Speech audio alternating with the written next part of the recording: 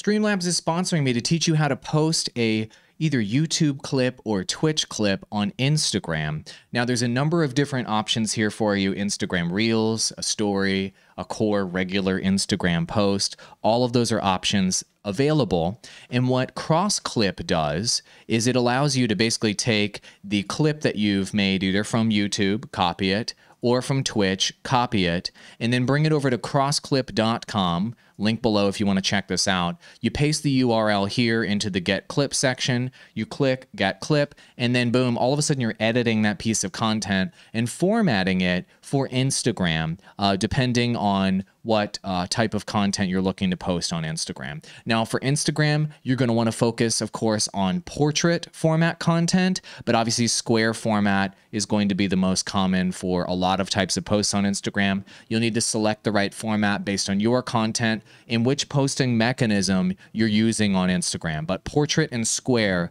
are the recommended formats uh, for Instagram. And so, once you've actually exported your clip from CrossClip using the compile button right up there, you'll either have a portrait style clip or you'll have a square style clip. And you'll be able to either download that to your computer and you'll also see a share option right up here on desktop. But as you can see, if you click share on desktop, you won't be able to natively post the video to Instagram this way. The way that you post it to Instagram is by using the CrossClip app. Now, if any of what I'm telling you right now doesn't make sense, from creating a clip to putting it into CrossClip beta to editing the clip, and you're like, bro, you just skipped all the good stuff. I've already made tutorial videos on all of those steps in great detail. Go back and watch those on the channel first to catch up with me right now because where we're at is we're using the mobile app now. Now that we've already exported our clips and we've compiled them, they're now automatically synced to the CrossClip app and we can now use them at our disposal to post on social media. So today we're going to use a square format clip because that's the classic format for a lot of Instagram content. And we're going to click one of our square format clips that is automatically synced from the desktop edit we did on CrossClip to our app. Now, you can review the clip here and you can click the share button at the bottom if you'd like. Now, there's going to be a bunch of uh, options here for Instagram, including Instagram chats, Instagram feed, and Instagram stories. Now, I'll show you how Instagram feed and stories works here. It'll basically shortcut you to be able to post on Instagram stories normally. Uh, as you see, it just takes you straight into the stories interface if you'd like. That's available on Android and iOS. We're going to close out that. And also, if you choose the Instagram feed option, that's going to post into your main Instagram feed as a quote unquote traditional post, if you will. But if you want to access the Instagram Reels functionality, you're going to need to pull open the main Instagram app to be able to access that. So the way that you do that is go ahead and just slide on over to regular Instagram. And then what you're going to do is swipe right.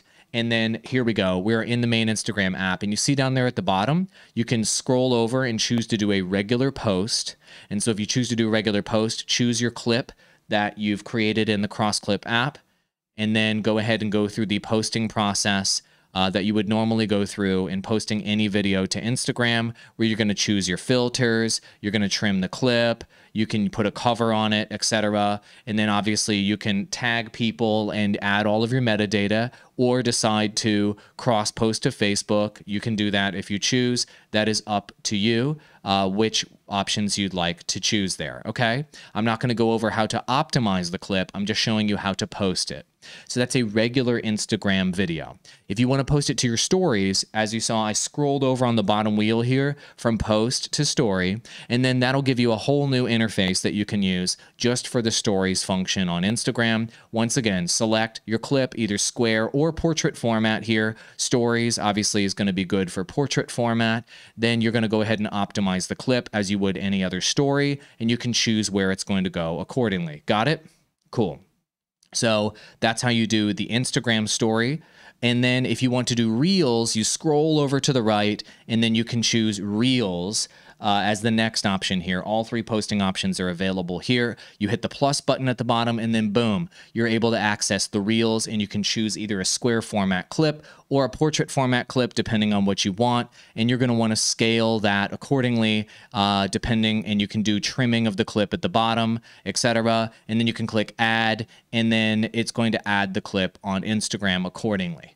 Now, there's lots of things that you can do to optimize uh, your reels and to optimize uh, your story and your post. This video is not about social media optimization. This video is just about how to get the video from YouTube, how to get the video into CrossClip, and then how to post it on your phone using those three options. Got it? So, what you're going to do, just a quick review here, is you are going to clip it on YouTube or clip it on Twitch copy the URL, bring it over to CrossClip and click Get Clip. Edit the piece of content in CrossClip, and when you're done editing it, hit Compile.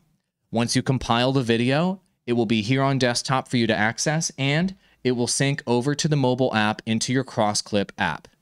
Once it is in the CrossClip app, you can then either use the native sharing function in the CrossClip app to post, or the recommended method is just to go straight to Instagram to access whether whether you're going to post it through the main post function, the story function, or the reels function, depending on what the piece of content is and how you'd like to share it to your followers. CrossClip just saved you a ton of time doing that, and I very highly recommend that you go through and make a bunch of clips in one editing session, if you will, on CrossClip, and then just lock and load them all on your phone. So throughout the week, you can just feed your followers extra content throughout the week without having to worry about going back to edit constantly. You'll have them on your phone, and you can just post them any time of day you'd like. Thank you so much for watching, and enjoy CrossClip creators. Links below.